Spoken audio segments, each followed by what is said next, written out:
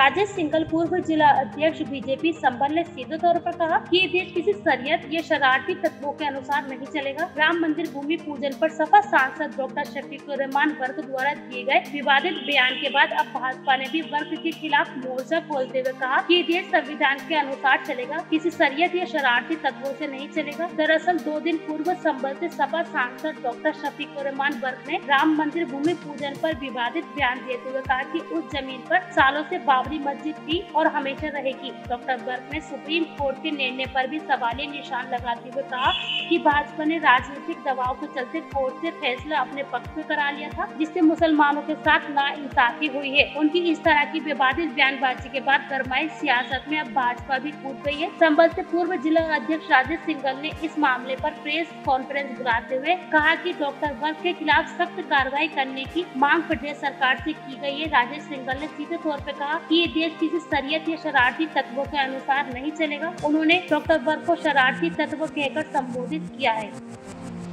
माननीय नरेंद्र मोदी जी द्वारा सर्वोच्च न्यायालय में निर्णय आने के बाद श्री राम जन्मभूमि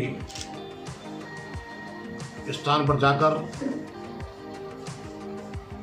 भूमि पूजन कर शिलान्यास किया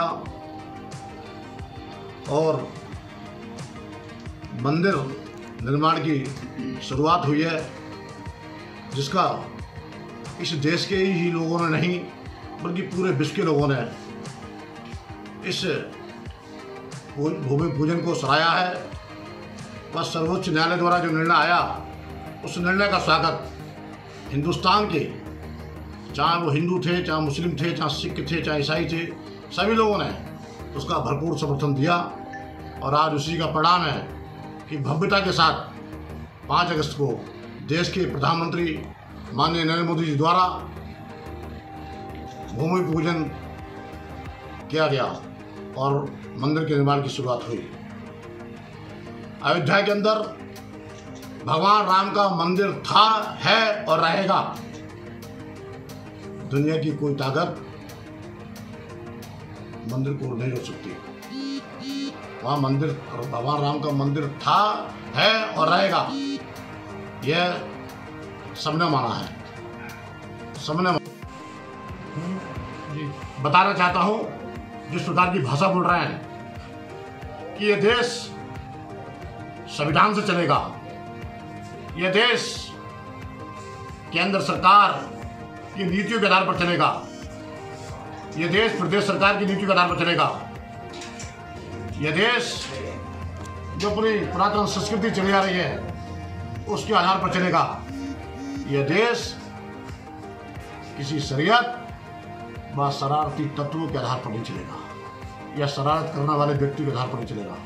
यह देश संविधान के आधार पर चलेगा और जो व्यक्ति संविधान के नियमों का पालन नहीं करेंगे सरकार उनके खिलाफ कड़ी से कड़ी कार्रवाई भी करेगी। आज देश के अंदर कमज़ोर सरकार नहीं है। आज देश के अंदर मज़बूत सरकार है। और कोई व्यक्ति ये ना समझे कि देश के अंदर कमज़ोर सरकार है। यदि ऐसे व्यक्ति इस देश के अंदर सांप्रदायिकता को बढ़ावा देंगे तो उनके खिलाफ पहले भी कार्रवाई हुई है, पहले भी कार्रवाई हुई है और भविष्य में भी कार्रवाई होंगी। अयोध्या के अंदर राम मंदिर था, राम मंदिर है और राम मंदिर बनकर रहेगा।